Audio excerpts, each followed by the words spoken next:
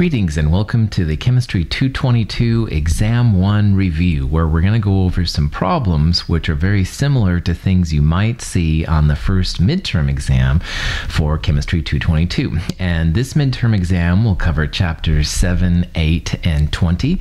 So, chapter 7 was when we introduced Lewis structures, talked about VSEPR geometry, polarity, things like that. Chapter 8 was when we compared the valence bond hybridization model to the molecular orbital theory model for making molecules. And finally, chapter 20 was over organic chemistry. So we'll talk about all of these in this particular section. Uh, let's go through and see what's all going on. Assuming that this video is being watched because it's an online class, then again, uh, it'll be over chapters 7, 8, and 20.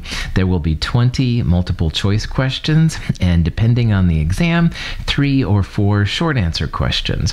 And you'll fill this all out yourself and then turn it in by the Friday deadline at 9 a.m. via email.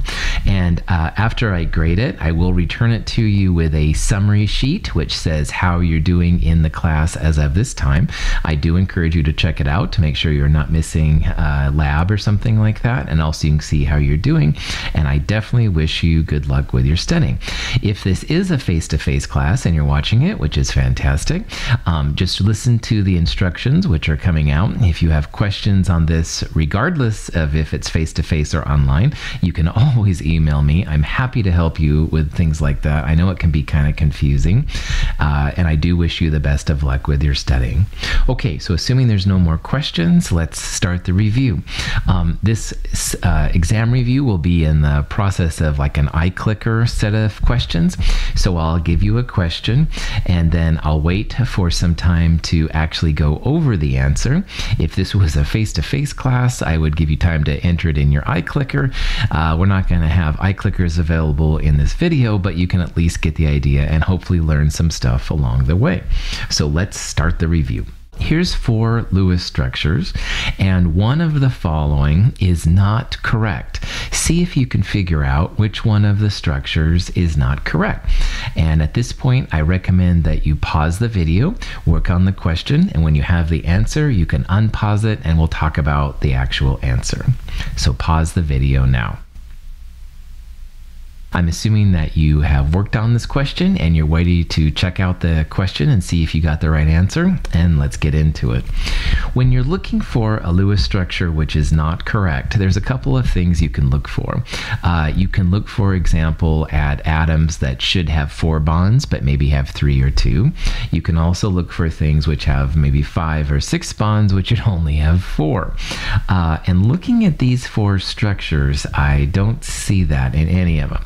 Like all of them look like uh, they're correct in terms of the basic Lewis structures. Um, a quick overview hydrogen can only handle one bond. Um, atoms in the third period and lower can have more than four bonds, but all of these atoms are in second period or first period. So that would be uh, nitrogen, oxygen, carbon, uh, stuff like that. And of course, hydrogen's first period. So at this point, what I would recommend doing is just going through and drawing some Lewis structures and see if you can figure out what's going on. So for the first one there, N2, there's the structure. Let's see if we get the same kind of structure. So nitrogen is in group 5, and there's two of them, so that would be 10 valence electrons. We'll divide that by 2. This structure will have 5 pairs of electrons to put around. So when you're drawing a Lewis structure, normally you look for the central atom, but of course N2 doesn't have a central atom. They're both the same. You do want to start by drawing a bonding pair between them. That's the glue that holds them together. That's one of our five pairs. You can put lone pairs around the outside atoms, and you want to give everything an octet. So that nitrogen with three lone pairs there, that would be happy. But you can see that now I've used one bonding pair, two, three, four lone pairs. I only have one pair left. And we can't have that, all right? Uh, nitrogen on the left needs a full octet, just like the nitrogen on the right does. So at this point, what I would do is start making multiple bonds. I'm going to erase that lone pair and make a double bond, and that makes the nitrogen on the left happier. It now has three pairs, but it needs four pairs. So I'm going to erase that lone pair as well and put a triple bond in between. And my poorly drawn structure there is the same as structure A, so I believe answer A is okay. So it is answer here is not answer A. So let's go to the next one. All right, and that structure is for NO negative 1. That's what the negative 1 means right there in the upper right corner. Okay, so nitrogen is 5, oxygen is 6, negative 1 means add 1. So I'm going to have 12 valence electrons, or if I divide by 2, that's 6 pairs of electrons. And again, like before, let's put the N and the O. We'll have a bonding pair connecting them. Five pairs left. Um, outer atoms first, one pair, two pairs, three pairs, four pairs, five pairs, and with the six pair in the middle, those are all the pairs I have. Now, if you look at um, this structure, the oxygen again has four pairs around it, but nitrogen only has three. So let's uh, remove one of the lone pairs from oxygen and make a double bond. But wait a minute now, something's a little weird here because NO negative 1 has a total of six pairs. And each nitrogen and oxygen has two lone pairs, so that's four, five, six from the double bond. You can see that the structure on the right there for B has only five pairs, a lone pair on the N and the O, and three in the middle. So NO minus is what we just drew very cheesy right there. This thing right there, B, is actually NO plus, like it's two less electrons. And notice how it kind of looks like what we drew for N2, all right? NO plus would have a triple bond between it. NO negative would only have a double bond. So there's a problem with structure B. It's not NO minus, it's NO plus. You have too many electrons if it's a negative ion. If it's a positive ion, you're okay. Um, if you do the same kind of thing with HCN on C and CO on D, you'll find that both of those structures are okay. It's only B here which is messed up. It's on a negative charge, it's actually a positive charge. Here's another problem where there's four structures and the goal is to find out which one is not a correct Lewis structure. And like before, what I would recommend is you go through and see if you can solve uh, this problem on your own first. Uh, pause the video and then you can work on it. And when you're ready, unpause it. So at this point, why don't you pause the video and start working on the problem. I'm going to assume that you've worked on it and you're ready to look at the answer and stuff, which is fantastic. So again, one of those four structures down there is not correct.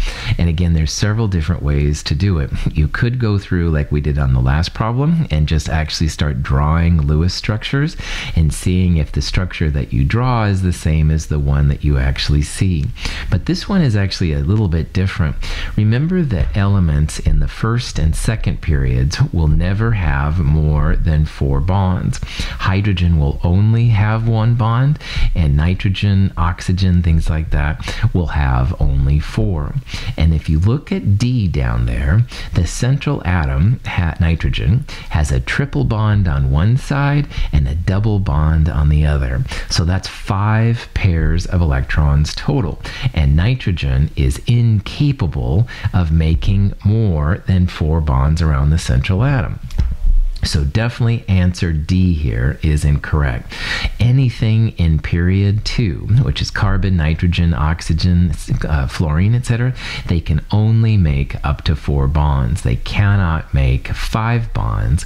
Phosphorus, which is right below nitrogen, could make five bonds. Things in the third period and lower can make more than four bonds. But when you're nitrogen, when you're carbon, oxygen, you can only make four bonds. Answer D is not going to fly. In this problem, I want you to determine the formal charge of the three atoms with the arrows next to them. So the oxygen on the left, the carbon in the middle, and the oxygen on the right. And one of those answers is correct. So at this point, why don't you pause the video? You can work on the problem, and when you're ready, you can unpause it and hear the answer. Pause the video now. Okay, I'm going to assume that you worked on the problem and you're ready to hear the answer, so let's start seeing it. So the formula for formal charge, and there's different versions you can use, formal charge equals group number minus number of bonds minus lone pair electrons is the one that I like to use the most. So for the oxygen on the left-hand side with the double bond, the group number is 6 it has two bonds, that's what a double bond is, and it has four lone pair electrons, so it looks like that formal charge is going to be zero. Okay? The carbon in the middle, carbon is group 4. That carbon has a double and two singles, so that's four bonds, and it has no lone pair electrons. So that formal charge is going to be 0. And then on the far right, that oxygen with a single bond, oxygen group 6, it has one bond connected to it, and it has six lone pair electrons. So that formal charge is going to be negative 1. So it looks like the answer here is going to be D. All right. Now, in this version, what I used is I used group number minus bonds minus lone pair electrons. You can also do uh, this kind of thing, which is group number minus lone pair electrons minus half of the bonding pair electrons. And that's fine too. A lot of texts and uh, sources will use that, and that's totally fine. Just remember that every bond is two electrons. So instead of having, say, uh, one half of four, I use just two for the oxygen on the left. And instead of having one half of two for the oxygen on the right, I use just one. Same thing, no big deal. Either way you want to do it is fine. Because that ion has a negative one charge, something in the molecule has to have negative one. The sum of all the formal charges equals the charge on the ion. Hydrogen is group one minus the one bond, so hydrogen is zero. So notice that all of those are zero except for that single bonded oxygen, negative one. That's good. Something has to be negative one to give it a charge. We're good to go. Using VSEPR, which of the following corresponds to the molecular shape of sulfur dichloride, SCl2? And there's five different possibilities there. So for this problem, what I would do is I would draw the Lewis structure and then analyze the Lewis structure for first the electron pair geometry and then of course the molecular shape or molecular geometry. So start working on it. Uh, I recommend you pause the video and when you're done you can unpause it, listen to the answer, pause the video now. Okay, I'm going to assume that you've worked on the problem and you're ready to hear the answer, so let's check it out. So in a Lewis structure, first count up the valence electrons. Sulfur is group 6. There are two chlorines with 7 each, chlorines in group 7. So 14 plus 6, that's 20 valence electrons, or if you divide by 2, 10 pairs. The middle atom is usually the first atom listed. It's always the atom of lowest electronegativity. Chlorine is one of the higher ones, so it's not going to go there. I'll put the CLs on both the left and the right. I'll connect them with a bonding pair. Um, that's two of my 10 pairs, so I have eight pairs left. I'll put lone pairs around the outside atoms first so both of the chlorines are happy. And if I have any left over, and I do, I'll put them on the middle atom. Sulfur here is going to have two lone pairs. So sulfur is going to be the key to figuring out this problem. Sulfur has two lone pairs and two bonding pairs. The electron pair geometry for a four cloud system like this one is going to be tetrahedral. But because we're looking not for the electron pair geometry, but the molecular geometry, if something has two atoms and two lone pairs, if you look in the Geometry and Polarity Guide or online, this is what they refer to as bent. So this is going to have answer B. Bent is what it means in sulfur right here when there's two bonds. The angle is about 109 degrees. Uh, remember, molecular shape and molecular geometry are the same thing just different ways of saying it. VSEPR stands for valence shell electron pair repulsion theory. Cool. Based on VSEPR, which of the following corresponds to the molecular shape, aka molecular geometry, of the IF2 minus 1 ion? And there's five different possibilities there. So molecular shape again means molecular geometry, and one of those five will represent it. So what I would do on this problem, calculate the Lewis structure, figure out what it is, then interpret the electron pair geometry and molecular geometry from there. So I recommend at this point you pause the video. You can work on it. And when you're ready to hear the answer, unpause the video. Pause your video now. I'm assuming you've worked on the problem and you want to hear how this all works out, so let's get right into it. So IF2 minus 1, got to count those valence electrons. Iodine is group 7, fluorine is also 7, and there's two of them. But because it's negative 1, negative means to add, we're going to add an additional electron. Counting up those electrons, 7 plus 14 plus 1, that's 22 valence electrons, or if you divide by 2, 11 pairs. So iodine in the middle. It's the first atom listed. It's least electronegative. Fluorine is the most electronegative of all. Fluorine's on the outside. Connect the outer fluorines to the inner iodine with a bonding pair. So that's two of my 11 pairs. I got nine pairs left outer atoms get the octet. So both fluorines here are going to have a filled octet, i.e. three pairs.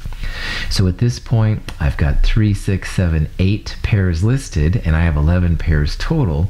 So that means your iodine is going to have not one, not two, but three pairs around it. Now, iodine is not in group or period one or period two. Iodine can make more than four pairs, have more than an octet. And iodine does. Iodine has three lone pairs and two bonding pairs. So that's five pairs total. So the electron pair geometry here is going to be trigonal bipyramid. But we don't really want electron pair geometry. We want the molecular geometry or molecular shape. So at this point, you can either go to the Geometry and Polarity Guide, um, or you can realize that keeping lone pairs as far apart from each other as possible is the name of the game. Lone pairs are big. They don't even like to be, electrons don't even like to be next to each other because they're negative. Negative charges repel.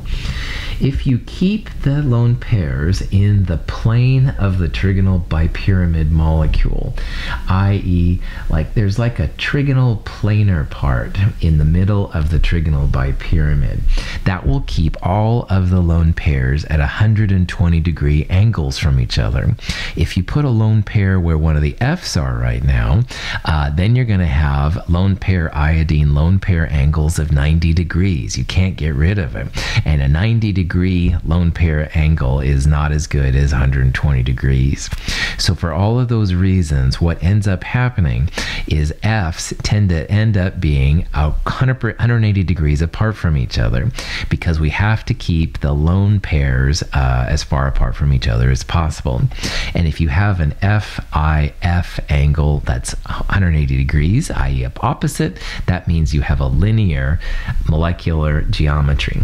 Um, down there is a picture that's better than my cheesy drawing, all right, of what it looks like. But again, keeping those lone pairs opposite each other is really, really important. If you have a trigonal bipyramid molecule with three lone pairs, they will take on the linear uh, geometry almost all the time, which is really cool. Here's a problem that you might see. Um, acetylene is a type of an alkyne from the organic chemistry section. Acetylene, which is also known as ethyne C2H2. And the question says, what's the approximate CCH angle in acetylene? So what I would do in this problem is I would draw the Lewis structure and see if you can find from the Lewis structure's electron pair geometry what the approximate angle is. So at this point, I recommend you pause the video. When you've answered the question, unpause the video and we'll talk about it. Pause your video now. I'm going to assume that you've worked on the problem and you're ready to check this out. So let's do that. So let's really start from scratch here. Let's say you don't remember that it's an alkyne or anything like that, and you just need to draw the Lewis structure C2H2. Okay, no problem. So again, valence electrons, carbon is four, and there's two of them, and hydrogen is one, and there's two of those. So eight plus two, that's 10 valence electrons, or if you divide that by two, five pairs. Hydrogen can never be in the middle of the molecule. It's always on the outside. And the reason for it, it can only handle one bond, so that's why it's always on the outside. So in this molecule, what I would do is I'd put a hydrogen on the outside. I would put the carbons kind of next to each other and the hydrogen out there. A lot of times carbon likes to make longest chains we talked about. So having carbons next to each other is very, very common. Anyway, we can play around with it from there. So with five pairs, the first thing, you've got to draw a bonding pair between the atoms. That's the glue that holds those atoms together. If you don't draw those, then the atoms float off and you don't have C2H2, okay? That took up three of my five pairs, so I have two more pairs left to go. And ideally, we'd put them on the outer atoms, but hydrogen doesn't take any more than one bond, so that's not going to happen. So what you could do is put one pair on each atom or two pairs on the same atom, it doesn't matter. But the important part is this part now. Carbon must have an octet, all right? That's not negotiable for us in Chem 222 anyway. Carbon must have an octet. And right now, each carbon has just one, two, three pairs around it. So it's not happy. If you put the other lone pair on the same carbons, that one, that carbon would arguably have an octet, but the other carbon would be really deficient. All carbons must have four pairs. So what you're going to do on this structure is you're going to make first a double bond, and because the other carbon still doesn't have enough, you're end up making a triple bond. So acetylene, like all of the alkynes, is a triply bonded carbon. All right, carbon-carbon triple bond. So then it says, what's the approximate angle? Well, that let's look at either carbon to figure this out. The carbon's going to have a triple bond to the other carbon and a single bond to the hydrogen. Triple bonds and double bonds count as one cloud. So that carbon is going to have two clouds, a triple bond on one side and a hydrogen on the other. And because the clouds are basically negative electrons, they want to be as far apart from each other as they can. Only two clouds means that's going to be 180 degrees. So acetylene, ethyne, all right, is going to have a HCC angle of 180 degrees due to that triple bond. Triple bond has the bread around the sandwich kind of thing, kind of stacks all on top of each other, but it does count as one cloud. Um, the other angles in there, 109.5 is for tetrahedral electron pair geometries, 100 120 degrees is used for trigonal planar. 90 degrees is usually for octahedral, although trigonal bipyramid does have 90 degrees, 120 degrees, and 180 degrees, so that's a little bit trickier. Um, negative 30 is just for fun. Technically, you can have a negative angle. If you go one way positive, the other way would be negative, but that's an unconventional use of these. Um, so probably answer E is just silly. Silly instructor, silly answer, you know, anyway. Which of the following groups of elements is arranged correctly in order of increasing electronegativity? Electronegativity developed by Linus Pauling is useful to tell when atoms are more into electrons and less into electrons. The atom of lowest electronegativity always goes in the middle of the Lewis structure.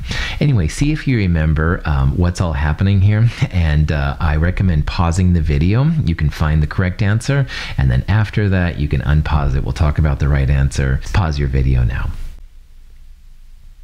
At this point, I'm assuming you've uh, figured out what your answer is and stuff like that. I also hope that you saw that answer E is actually surprise. All right, really dumb. There is no element SU. So anyway, I need to get a life, I know. But anyway, electronegativity, super important in chemistry, uh, really good to think about. In this case, uh, what you want to do is remember that you, first of all, you could look up, if you had access to it, a table of electronegativity values. Fluorine is the most electronegative, and as you get farther from it, it's less.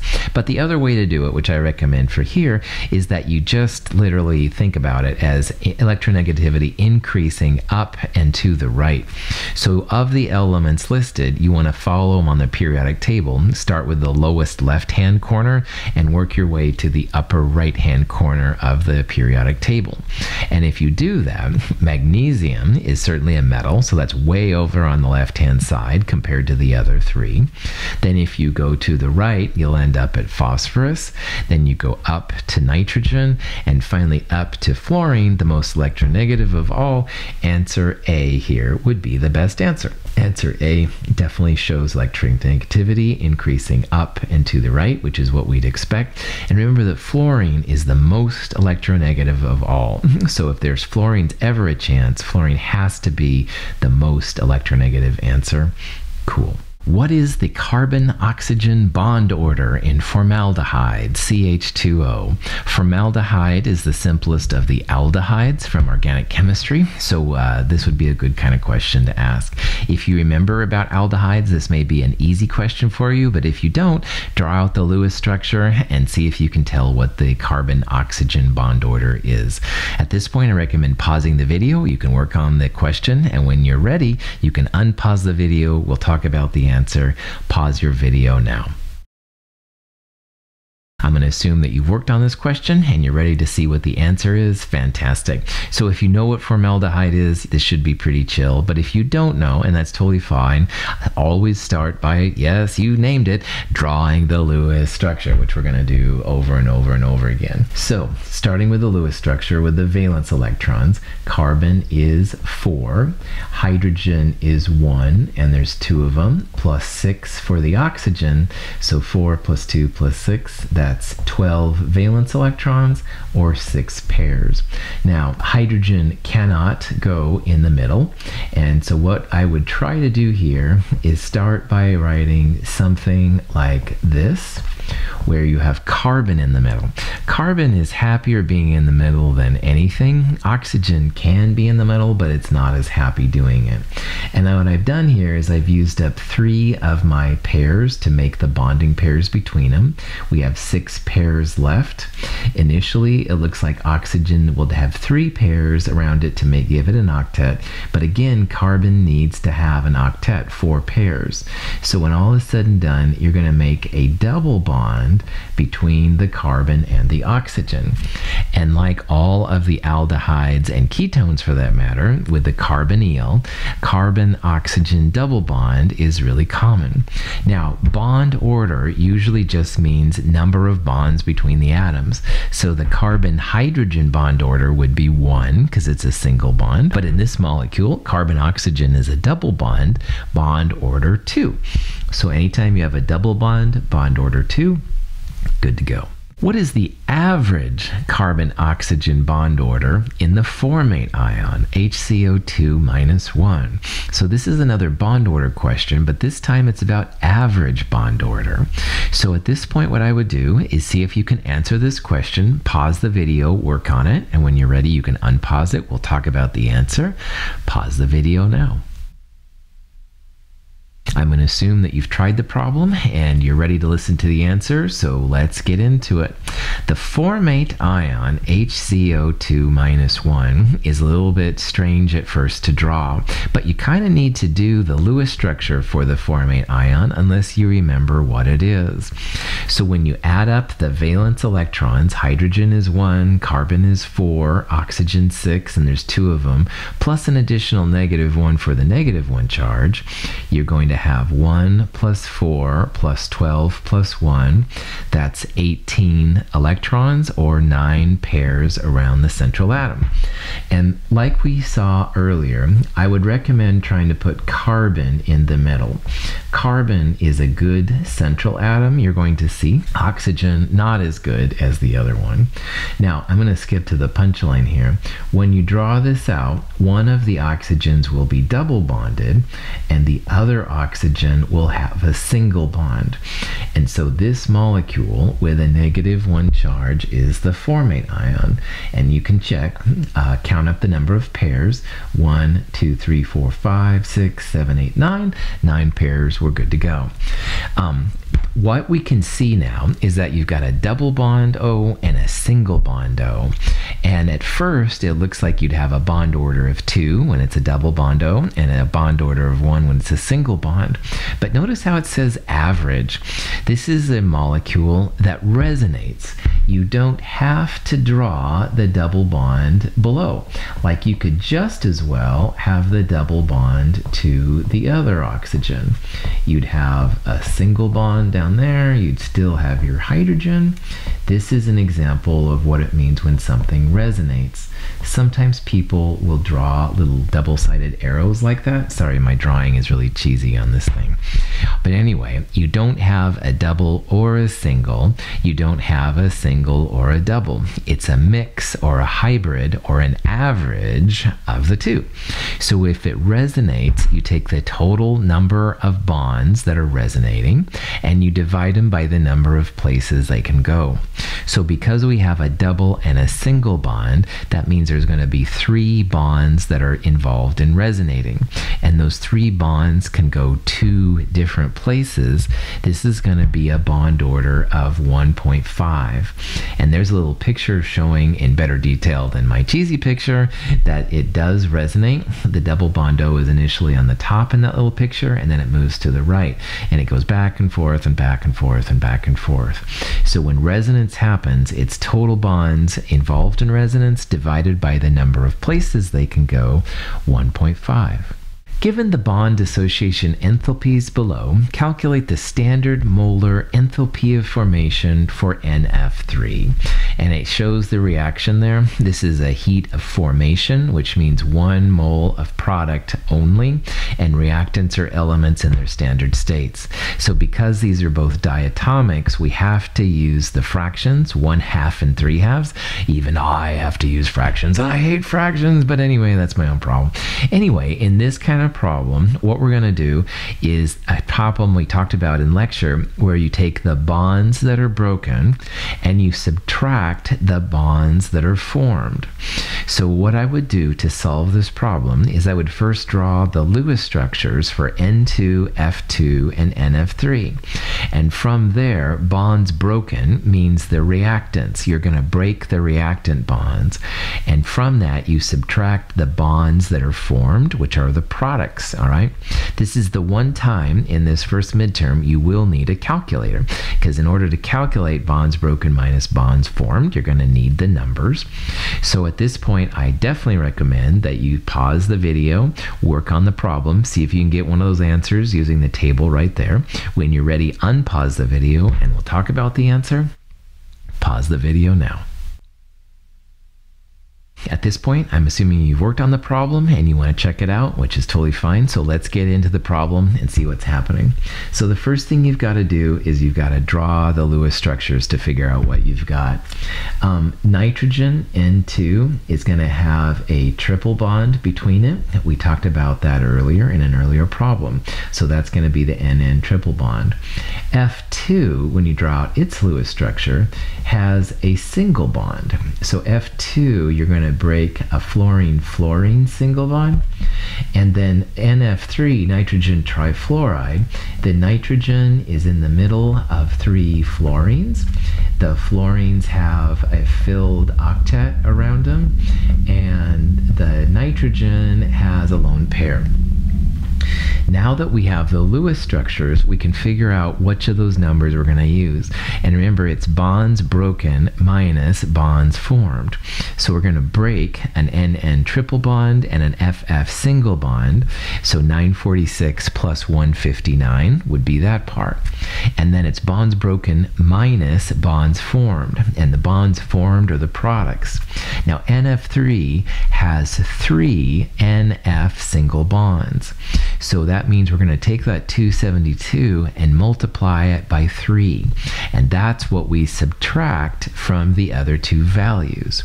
So when you do all of this, and I'm going to let you do this in your calculator, you're going to take 1 half times the N2, because it's only 1 half of N2, not the full one. You'll take 3 halves, or 1.5 times the FF single bond. And from the bonds broken, you'll subtract the three NF bonds that you're forming. And there's all the different numbers thrown in. The delta H negative 105 kilojoules per mole, answer B. So this is an exothermic reaction. Nitrogen trifluoride wants to be made from nitrogen and fluorine gas. And again, this is the one time you'll need your calculator. Make sure you uh, see the stoichiometries because they're also part of this? Cool. Which of the following bonds is the least polar? And there's five different possibilities there.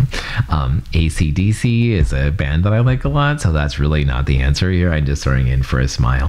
Anyway, see if you can figure out which of the other four really it comes down to. It's not ACDC, okay?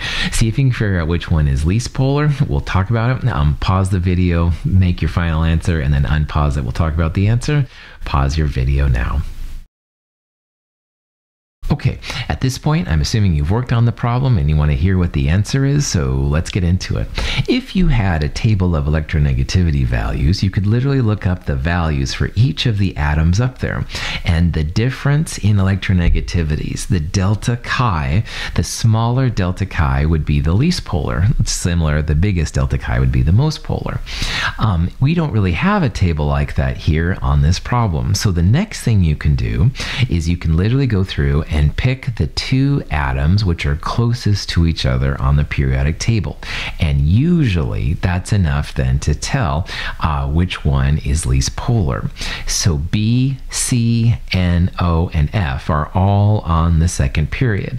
And you can probably see that B, C are closest to each other, right? N is next, O is next, and F is farthest away. So B, C is probably going to be the least polar bond. B, F F, the atoms which are farthest apart, would be the most polar. All right, you can kind of use that as a rough guide because generally electronegativity increases up and to the right.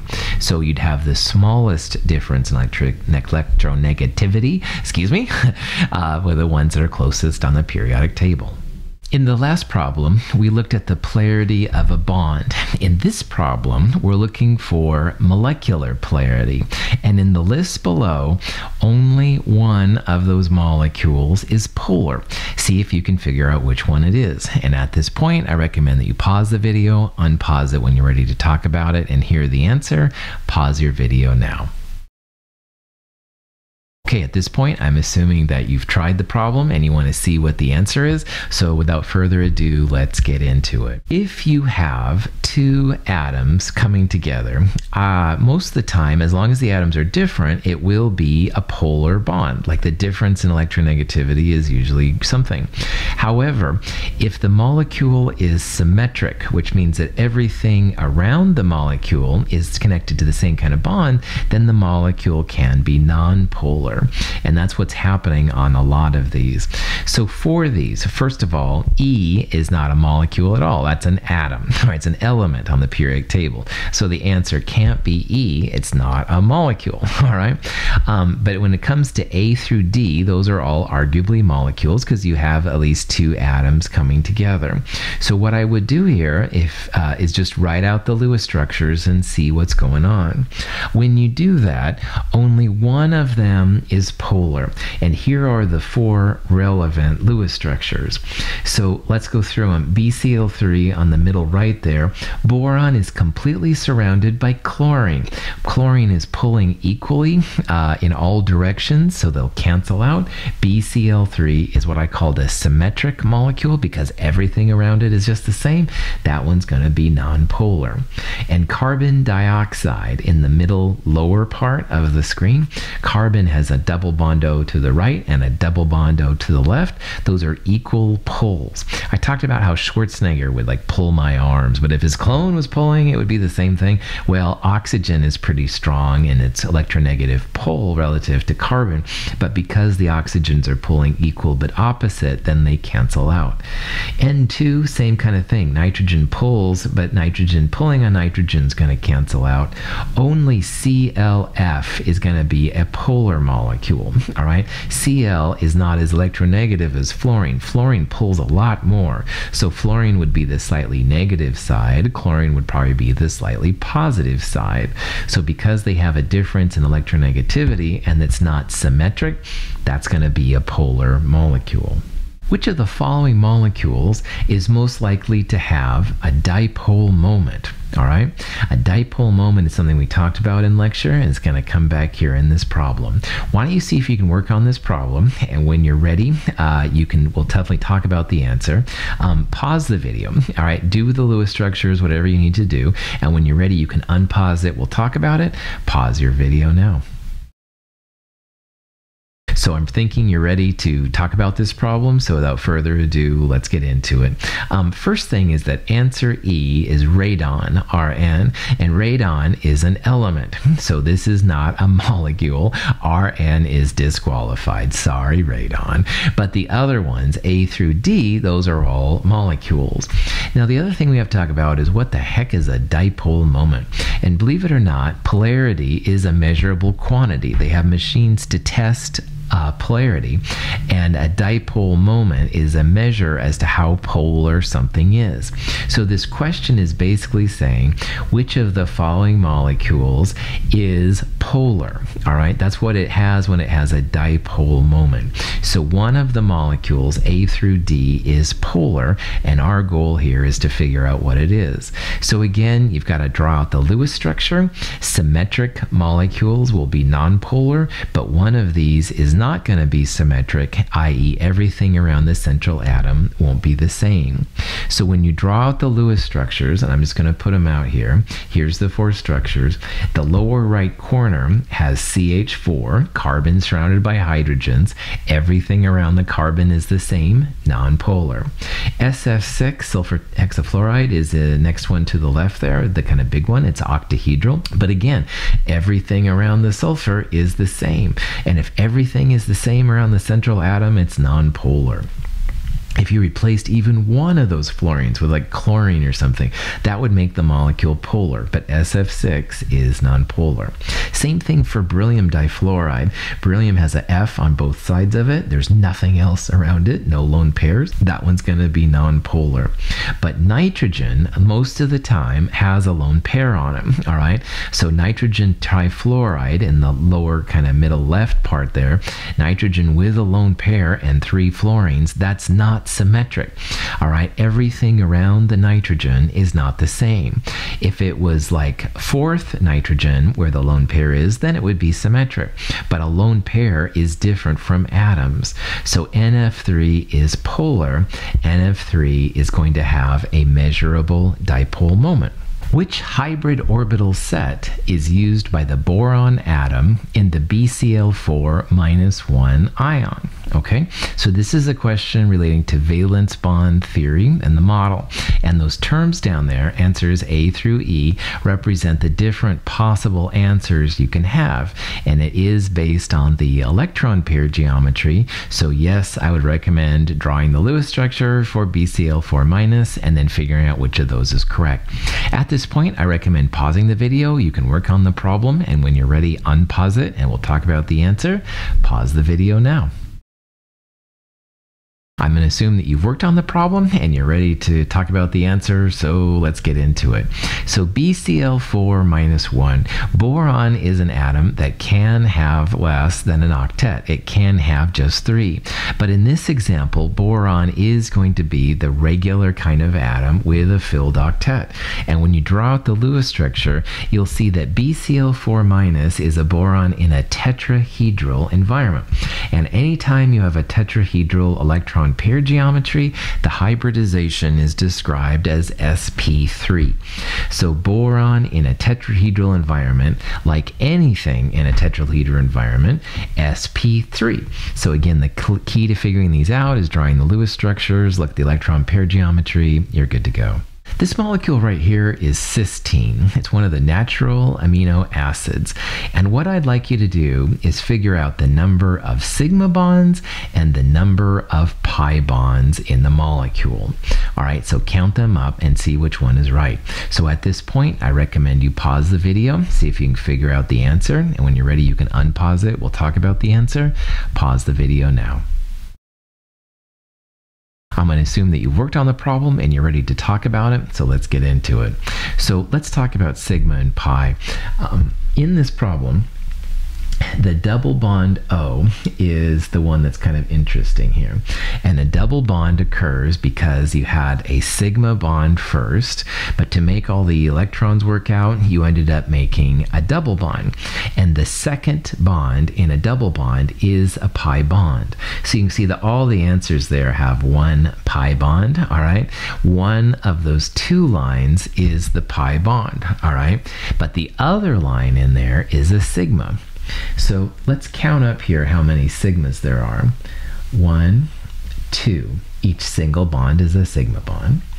Three, four, five, six, seven, eight, nine, ten, eleven, twelve, and one more right there 13 sigma bonds and one pi bond.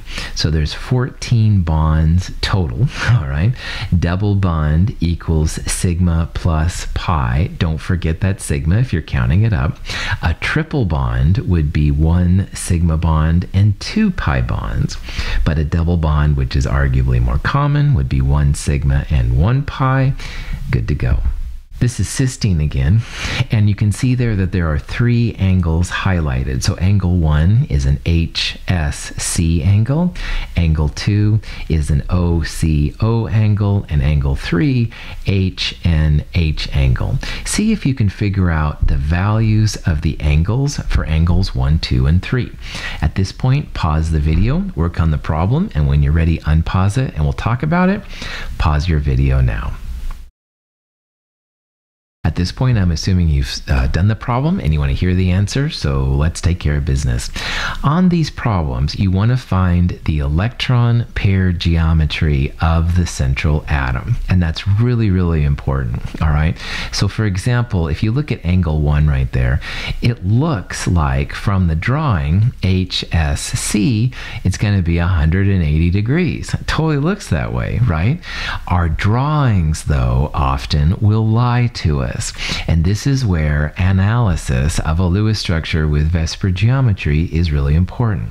That sulfur has two lone pairs and two bonding pairs, four clouds total. And things that have four clouds are not 180 degrees, they're 109 degrees. So angle 1 is 109 degrees, not 180. So if you put down 180, I totally understand understand, but angle 1 is 109 is tetrahedral. Our drawings will lie to us. Same thing with 2 and 3. Now, in angle 2, that carbon in the middle has a double bond and two single bonds a single bond to the carbon and a single bond to the oxygen. Double bonds, as well as triple bonds, count as one cloud. So that carbon in angle 2 has three clouds. That's a trigonal planar electron pair geometry. And trigonal planar bonds, 120. Angle 2 is 120 degrees. Now, angle 3 kind of looks like it's 90, but oh, trust me, it's not. Because that nitrogen has three single bonds and one lone pair, four clouds total. And just like on angle 1, this is also going to be 109 degrees. So, of all of those answers there, answer B would be right. 1 and 3 angles are around tetrahedral, so they're about 109. Angle 2 is trigonal planar, so that's why it's 120 degrees. Don't look at just the drawings to figure it out. You've got to analyze what's happening in your head. That's why angle 1 is not 180, angle 3 is not 90, or angle 2 for that matter. Uh, you got to think about things in terms of VSEPR geometry. Nitrogen can lose an electron to form N2 plus. What is the bond order of N2 plus? Okay, this kind of question could arguably be answered through either a Lewis structure or molecular orbital theory. But for this question, I would like you to do a molecular orbital analysis of N2 plus. This kind of problem is pretty easy with MO because eh, you can build neutral N2 and then in this case subtract an electron to see what's going on. Lewis structures, you'd have to use dotted lines, and it's not as much fun. So, anyway, in this problem, see if you can use molecular orbital theory to figure out what the bond order is of N2 plus. And I definitely recommend that you pause the video at this point, work on it, and when you've got an answer, you can unpause it, and we'll talk about the answer. All right, so pause your video now. I'm going to assume that you've worked on the problem and you're ready to talk about it. So without further ado, let's do this. So in molecular orbital theory, which is the best way to answer this question, when you have nitrogen, you want to use what I called in lecture the 2121 pattern, which means the pi 2p orbitals are first, then the sigma 2p, then pi star 2p, and sigma star 2p. Nitrogen is no, by default 2p3. So so you'd have 3 plus 3, 6 electrons in neutral N2. But in N2 plus, you're going to take away one of those electrons. You'll only have 5 electrons in the 2p. So anyway, when you do this, I've shown a picture here of neutral N2. And neutral N2 has a pattern here of uh, the core electrons, then sigma 2s2, which are those right there, sigma star 2s2, here's the pi 2p4, and finally then on the very top part, sigma 2p 2. There's the shorthand notation and the regular version. However, that's for neutral N2. And we want here neutral, excuse me, we want N2 plus 1. We want to remove an electron from the highest occupied molecular orbital, the HOMO. That's going to be this sigma 2p. So right here is the electron configuration for N2 plus. And on the middle diagram, you can think about it like taking taking out that one, just cross that one out. There's only a single electron there in N2 plus. So bond order in molecular orbital diagrams, one half bonding minus anti-bonding electrons. The bonding and anti-bonding for the sigma 2s and sigma 2s star uh, cancel out because you have just as many bonding as anti-bonding, so you can just use the top. One half parentheses, five bonding electrons, no anti-bonding electrons. 2.5 is the bond order for N2 plus. So that's how you figure these things out. Start with a neutral atom. If it's positive, it means take away electrons. If it's negative, you add electrons, and you can find bond order from there. And hopefully, you can also see the utility of the shorthand notation. I uh, was unable to find a picture of N2 plus's molecular orbital diagram, and I was a little too lazy, I guess, to draw one myself. So, anyway, I've got to cheese it out here. Shorthand notation. Awesome. Anyway, instructor is getting too excited, so better go on to the next question. N2 plus, is it diamagnetic or paramagnetic? So remembering this picture we just saw, see if you can answer that. Uh, 42, the answer C is of course silly. Um, 42 refers to uh, a book and a movie, uh, Hitchhiker's Guide to the Galaxy, which is another whole story. But anyway, the pro- the answer will be either A or B, and you have to use the last diagram to figure that out. Pause the video if you need to, work on it, and when you're ready, you can unpause it. We'll talk about the answer Pause the video now. I'm assuming you've worked on the problem and we can go back into it, so let's do it. N2 plus had a total of five bonding electrons. Four of them were in the pi 2p, and N2 plus had just a single bonding electron in sigma 2p. And that single electron is enough to make the whole molecule paramagnetic. So I've just put in the shorthand notation up here. Core sigma 2s2, sigma star R2S2, those were filled up. Pi 2P4, those are the filled uh, Pi 2Ps, and then Sigma 2P1. And that single electron there is enough to make the whole thing paramagnetic. Neutral N2 had Sigma 2P2. That would be a diamagnetic thing, but if there's even one unpaired electron, that's enough to make the whole thing paramagnetic. What is the bond order of the superoxide ion? And superoxide is a weird ion of oxygen. It's O2 minus 1. For this problem, I recommend using molecular orbital theory once again. I would start off with neutral oxygen, and in case of O2 minus 1, I would add an additional electron to see what the bond order is. Um, at this point, I recommend you pause the video and work on the problem. When you're ready, unpause it, then we'll talk talk about the answer, pause your video now. I'm assuming you want to talk about the problem, so without further ado, let's get into it. Now, oxygen, neutral O2, is a different molecular orbital diagram from N2, which we just went through. Oxygen, like fluorine and neon, is a 1 2 2 1 diagram, which means sigma 2p is first, then the two pi 2p's are next, then the two pi star 2p, and then finally the one sigma star 2p. So for this question, in the lower left hand corner, once again, neutral O2. And we talked about this in problem set number two, but here it is again. Now, this is for neutral O2, and O2 minus 1, we need to add one more electron to the lowest unoccupied molecular orbital. So in either of the pi star 2p orbitals, you want to add an electron. And I added mine on the right. If you add yours on the left, that's no big deal. So notice that we're adding an anti-bonding electron, which is kind of interesting. But bond order, once again, one half bonding minus anti-bonding. The bonding and anti-bonding in the sigmas cancel out, so we don't have to worry about that. One half the six bonding electrons minus now the three anti-bonding, bond order 1.5. So again, molecular orbital diagrams are great for figuring out all this stuff for the ions. This would be a lot more interesting slash difficult if it was just a regular Lewis structure. This question is about naming molecules, and here's a molecule from organic chemistry that I'd like you to try and find the name. Um, this is a question again based on the rule. Remember, uh, longest chain, shortest number, etc., etc. Anyway, see if you can figure this out. I recommend you pause the video, and when you're done, you can unpause it. We'll talk about the answer. Pause the video now. Okay, at this point, I'm assuming you're ready to look at the answer. So without further ado, let's get into it. Um, if you count up the total number of carbons, there are nine, and nonane is the name of an alkane with nine hydrogens.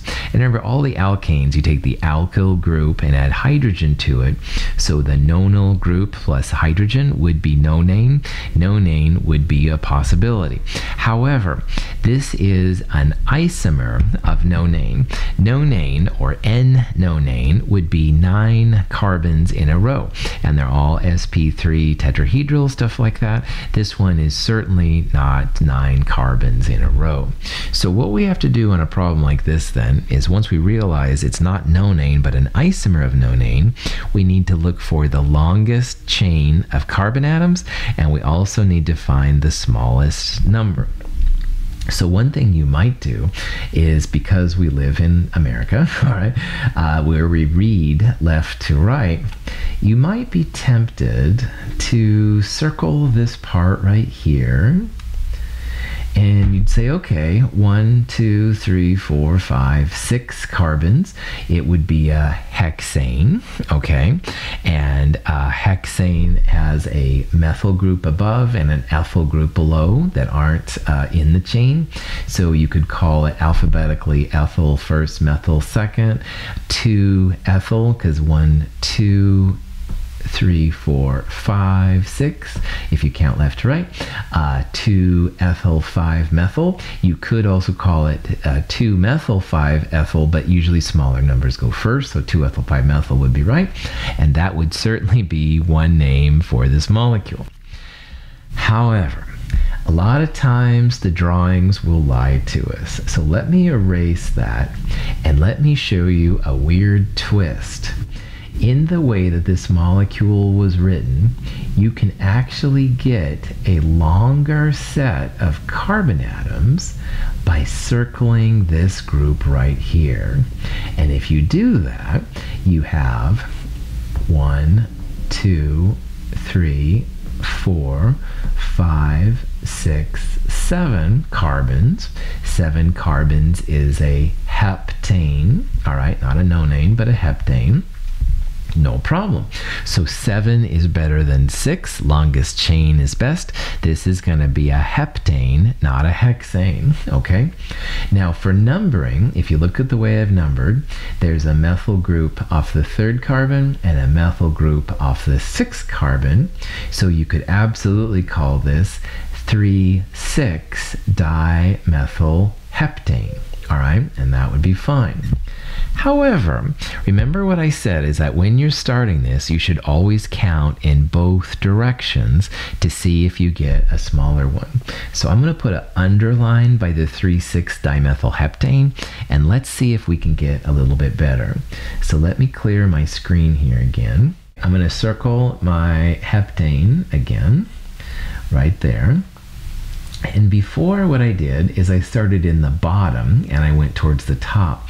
But now what I want to do is I want to start on the top right and count the chain this way and there's five, six, seven. So I still have seven. It's still a heptane.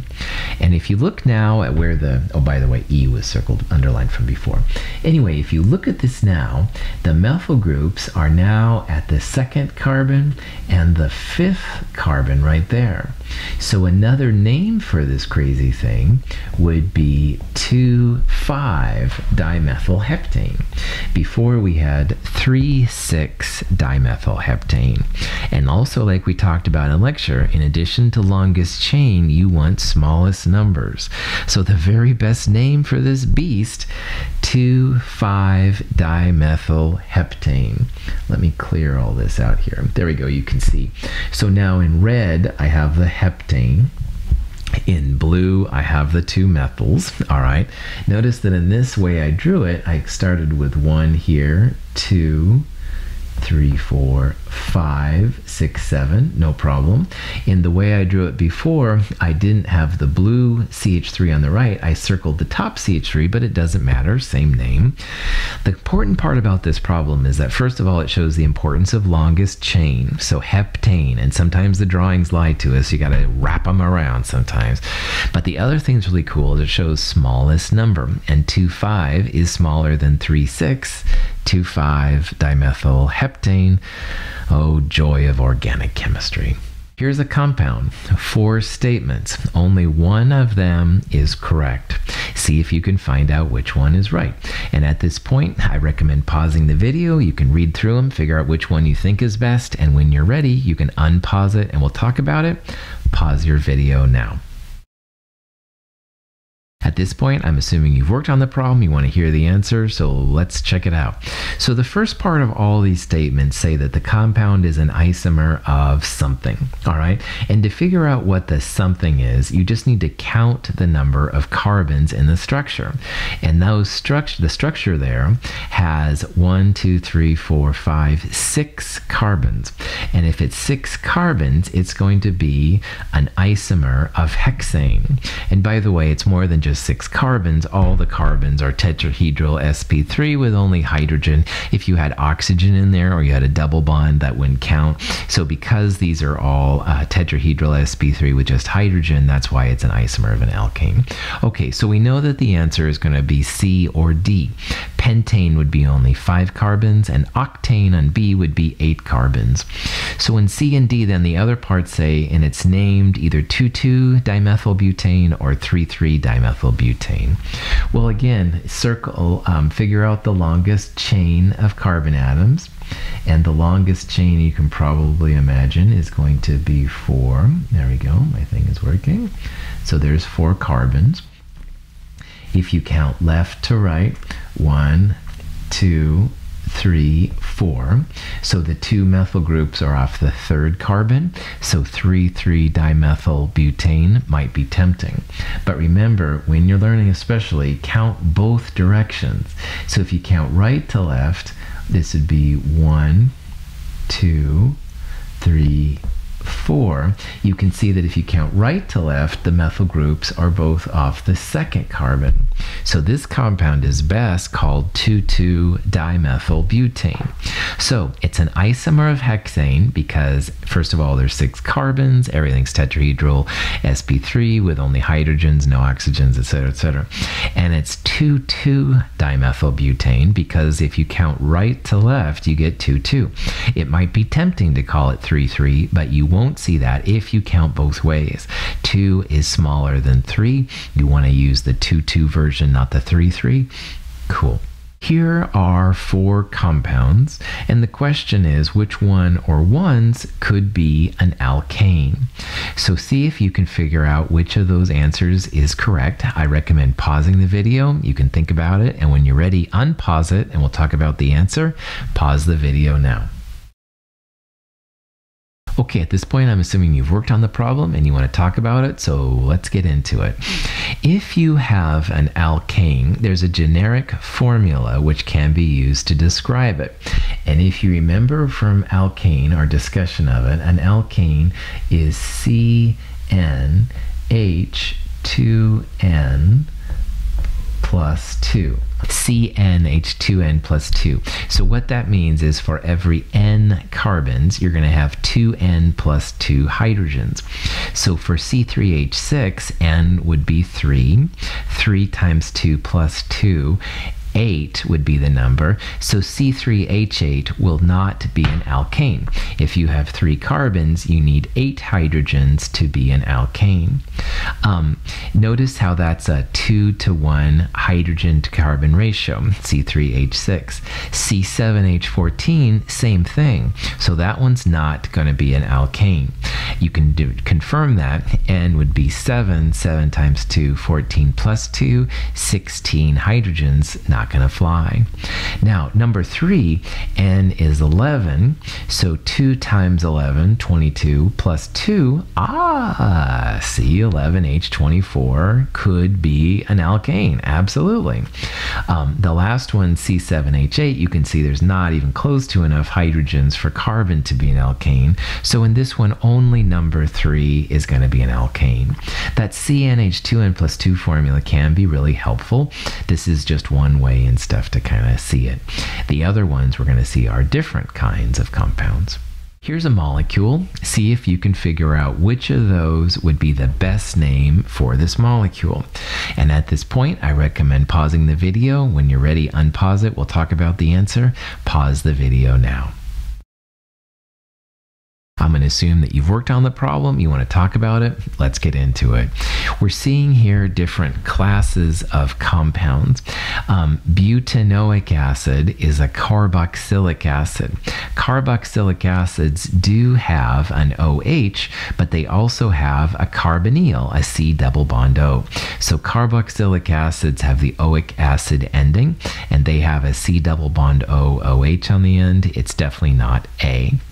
B, an aldehyde ending means it's an aldehyde. Butanal would have an aldehyde, which is a C double bond O next to a hydrogen. Well, this doesn't have a C double bond O. It's definitely not an aldehyde. The last one, butane, is an alkane. Alkanes have just carbons and hydrogens, no oxygen. So this uh, structure is definitely not butane. So you can probably imagine that this structure is going to be an alcohol. alcohols have an OL ending on the end. Now the first one is butanol, and it is a four carbon alcohol, which is a butanol. However, the number can be really important in these because in the structure we have, the OH is off the second carbon, but you could have an OH off the first carbon as well. So the number is really important, and the new school way of writing alcohols would be the alkane name without the E, the number, and OL. So butan 2-ol would be the official fancy name for this molecule. If you called it 2-butanol, I am totally happy with you. That's the way I grew up talking about organic chemistry, but butan 2-ol is kind of the cooler name these days. So just remember the number. Mm-hmm. All right, it's not enough to say it's butanol because you could have a 1-butanol or a 2-butanol. Correction, butan 1-ol, butan 2-ol, but you get the idea. Numbering becomes really important in these. Here's another molecule. Let's see if we can figure out what this one is. Again, it's another four carbon system, so it's going to have a bute something in it.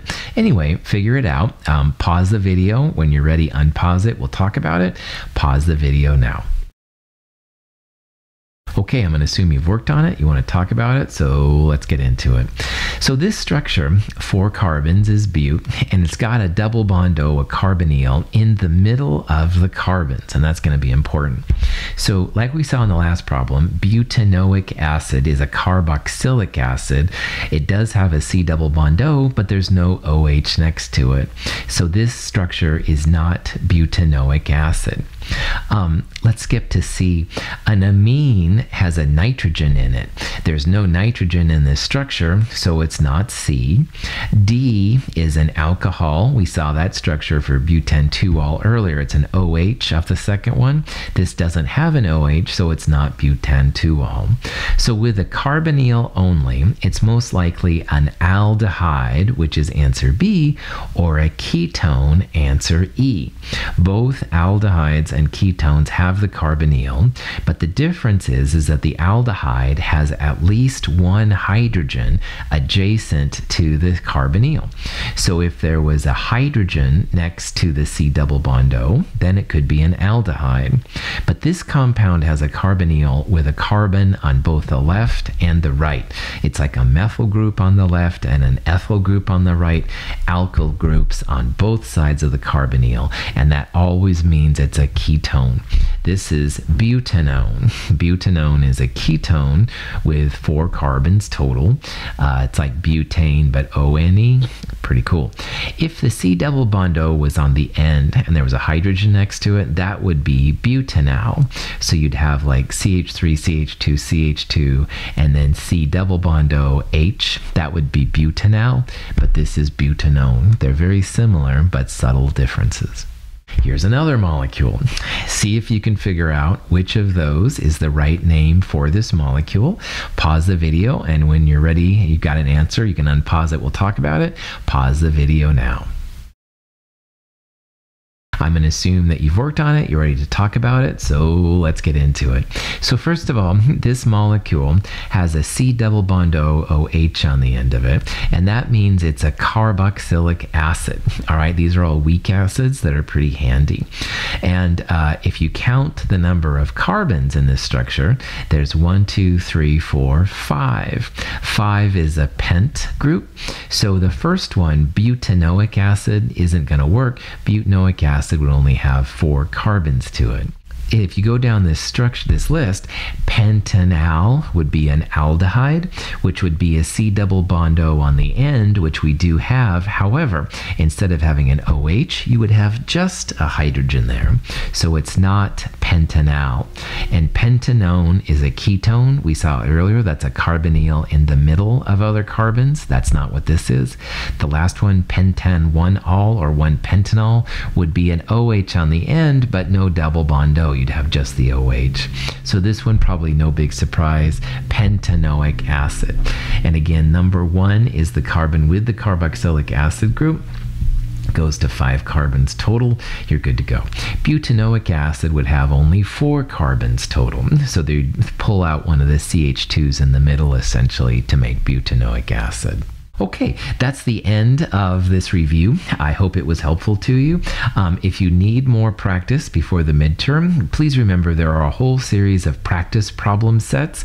They're both online and in the companion. There are concept guides in the companion and online. There's chapter guides uh, that are online resources of information. The textbook itself has end of chapter questions that will help, and every other question has the answer at the end. I definitely wish you the best with your studying. Uh, you're welcome to email me if you have any questions or talk to the Learning Success Center slash Avid Center at Mount Hood. They can help too. Good luck with your studying.